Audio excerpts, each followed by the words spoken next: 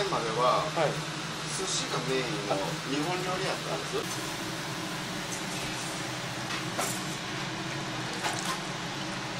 タレ自体はオープンしてからずっと継ぎ出しで作ったんでこれだけ十何年おるんですけど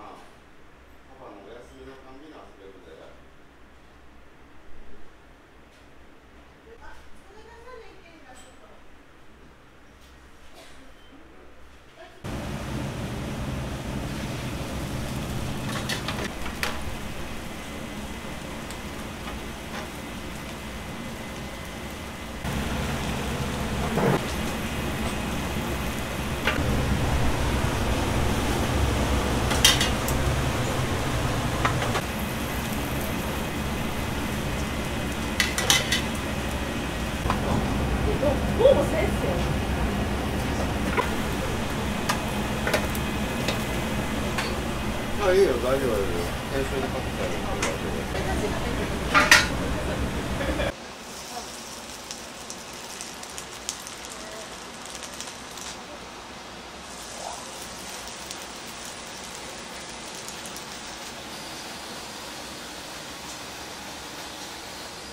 えっとねこれが今回使うのが浜名湖の2年半もの。1年ものと違って骨は硬いんですけどあのうなぎの味がしっかりと出て長いこと育ててると味が乗るんですね。味的にはすごく美味しいんで。はいありがとうございます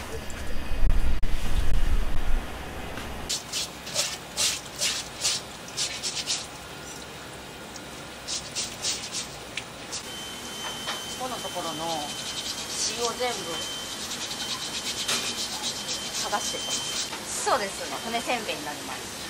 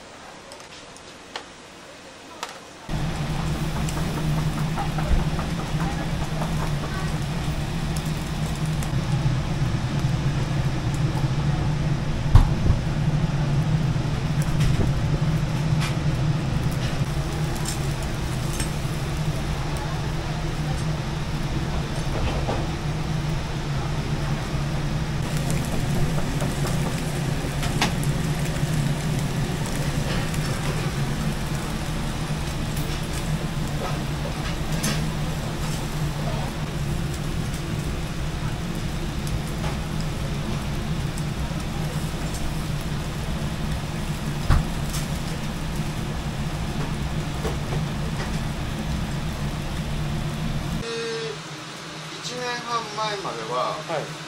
寿司がメインの日本料理やったんですでも10年15年先を考えていくと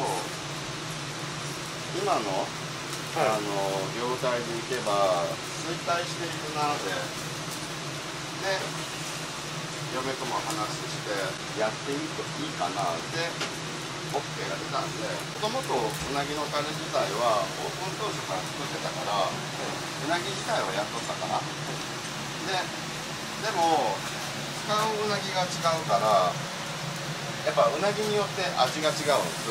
使ううなぎに合わせて味を微調整して。タレ自体はオープンしてからずっと継ぎ足しで作っとんでこれだけ十何年おるんですけど。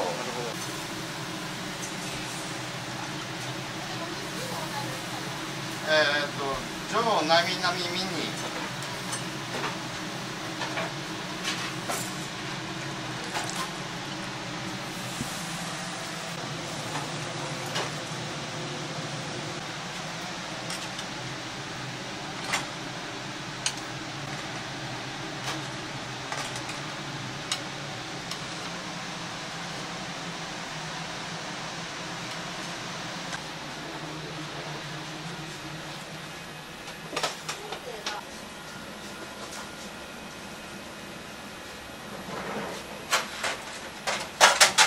上がるよ。は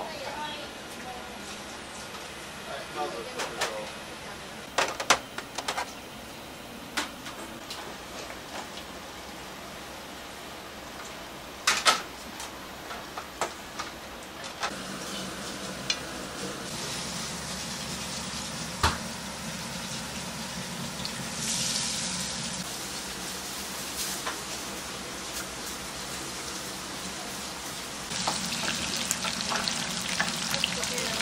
が、はい。あの一般的にスーパーとかあの世の中に出てこないお酒です。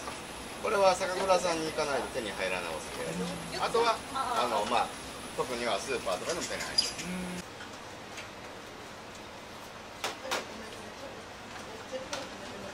先ほど作ったあの骨せんべいになります。基本的に突き出しでお出ししています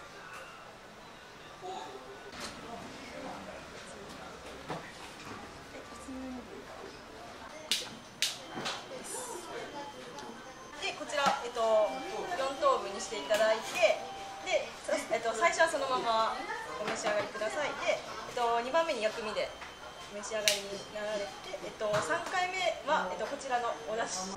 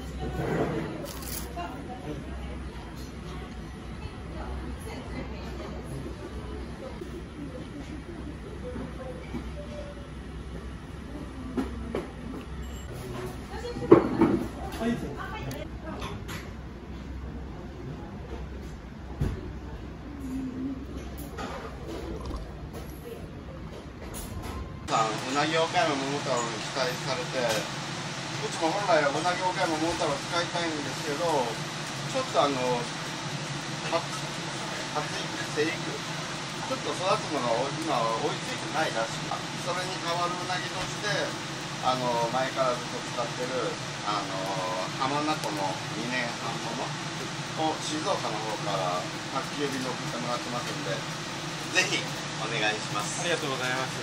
でお店のインスタグラムもあるそうですね。お願いします。はい、じゃあちょっと概要欄に載せておきますので。よろしくお願いします。はい、すすみません今日とっても美味しかったです。ありがとうございます。はい、ありがとうございます。